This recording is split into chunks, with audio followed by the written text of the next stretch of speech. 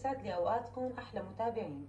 رح نعمل اليوم بيتزا ورح نبدأ أول شي بتحضير العجينة. العجينة بتحتاج خمس كاسات طحين. أول مرحلة بنحط كاستين وبعدين ثلاث كاسات. عندي هون ثلاث معالق حليب بودرة ثلاث أرباع الكاسه زيت نباتي كاستين مي دافية معلقتين سكر ومعلقتين خميرة ومعلقة صغيرة ملح. ويلا نبدأ بالطريقة. رح أحط كاستين المي.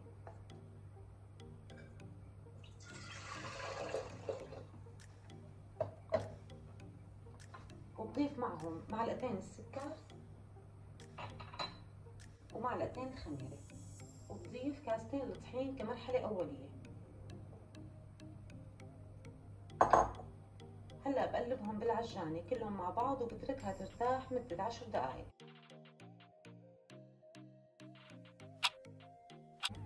وهيك بعد عشر دقايق هلأ عندي هون ثلاث كاسات الطحين حطيت معهم معلقة الملح الصغيرة وبضيفهم فرن.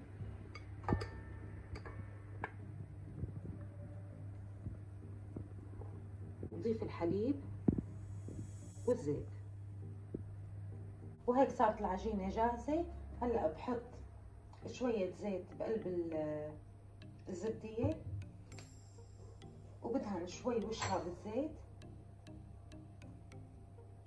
وبتركها تتخمر. ورح نبدأ بتحضير صلصة البيتزا الصلصة بتحتاج ثلاث حبات ثوم بصل صغيرة حبة فليفلة وست حبات بندورة نص معلقة صغيرة أوريجانو وحبة ماجي ومعلقتين من رب البندورة. أول شي رح أقطع الفليفلة.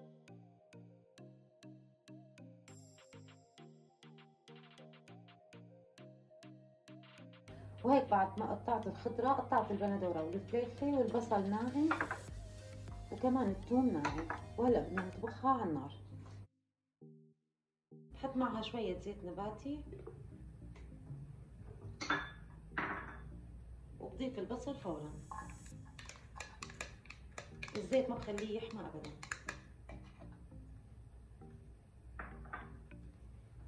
بس تدبل شوي البصلة بضيف فوقهم الثوم بعد ما دبلت البصلة بضيف فوقهم الثوم الثوم ثلاث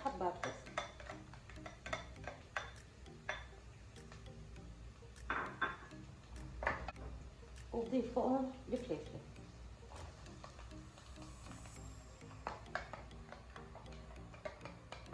هلأ صار بقى أضيف البندور وبضيف معهم رشة فلفل صغيرة وحبات الماجي والأوريجانو. وهلأ بغطيها وبتركها على النار لحتى تتسبك. يعني تقريبا بتاخذ نص ساعة لثلاث أرباع ساعة وهيك صلصة البيتزا صارت جاهزة. بس أنا آه، طحنتها بالخلاط وصار ناعم بهذا الشكل.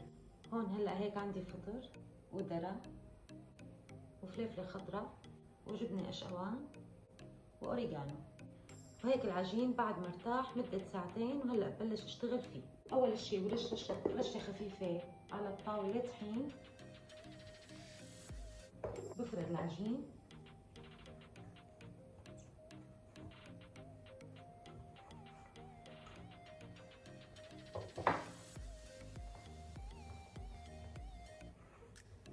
حاول إنها تكون بنفس المستوى. وهيك بعد ما رقيت العجينة هلأ الصينية برش عليها رشة خفيفة من الطحين. أو فيكم تدهنوها بشوية زيت نباتي. هلأ هيك بدهنها بصوص البيتزا. هلأ بضيف عليها جبنة الأشقوان.